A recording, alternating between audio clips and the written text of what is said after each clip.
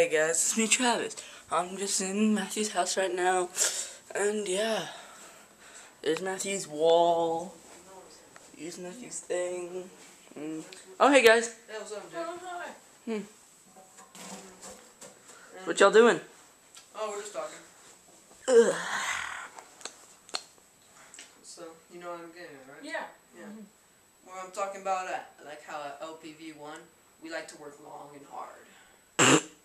That's what she said. No! No! That's what I said!